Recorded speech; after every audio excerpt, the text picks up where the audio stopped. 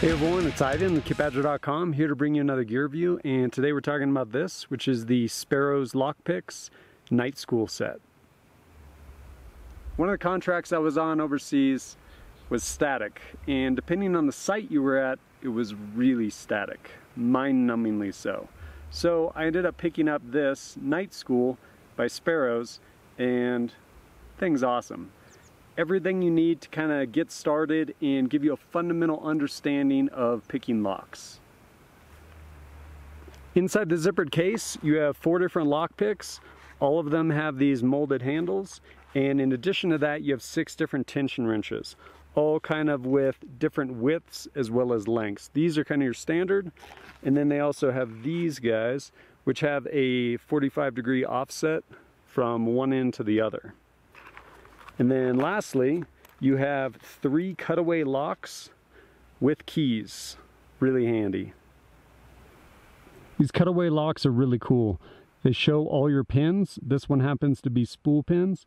And then they also come with keys, allowing you to visualize, when you line this guy up, how far the pins are sticking down and conversely how far they need to go up in order to allow it to turn.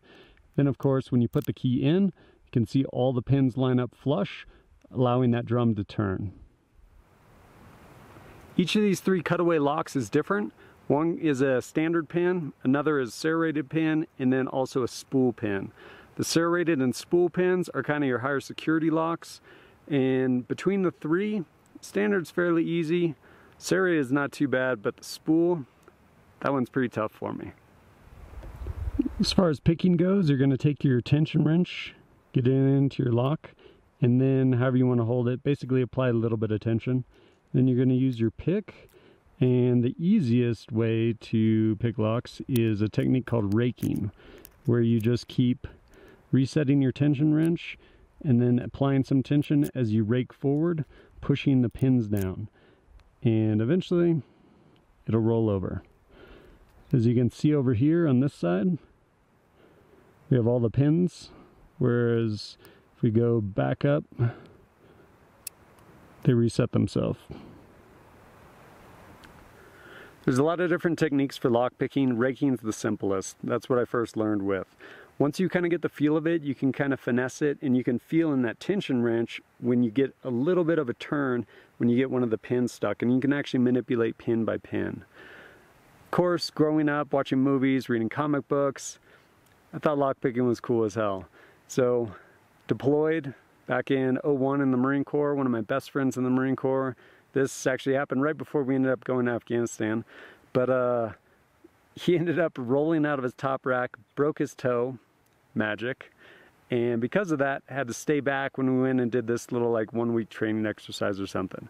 Of course, only person in the berthing area, bored as hell. So I come back, he's like, hey, do you want to learn how to lockpick? I'm like, yeah, I do. And so he made me these while I was gone. This is basically the little nail file out of like toenail clippers. And I think, I don't even know what's on there. I think maybe two pennies and then just electrical tape. And then right here, this nice rusty paper clip. Again, bunch of electrical tape, maybe some cardboard in there, give it some feel. But, so my buddy, before he went in the Marine Corps, was a repo man. And so he ended up making these for me and showed me how to pick locks. And of course we went all over the ship, opening every lock we could. Of course, no one's personal effects, but every lock we could find is pretty fun. It's a really good time and pretty handy skill. Why would you want to learn how to lockpick? Why do you want some lockpicks? Because it's awesome. And you may end up getting locked out of your car, out of your house, maybe a neighbor, be able to help them out, or you're going along, you see something you really want, even though it's not yours, and it's locked, don't do that. This is awesome though. This night school set gives you everything you need to get started and visually, like it really brings it all into focus for you. Being able to actually see in those cutaway locks how the pins are moving in conjunction with the tension wrench, great, great learning tool. You can get this straight through Sparrows lockpicks, about 95 bucks. Great little piece of gear. As always, thanks for joining us at kitbadger.com. Look forward to seeing you next time.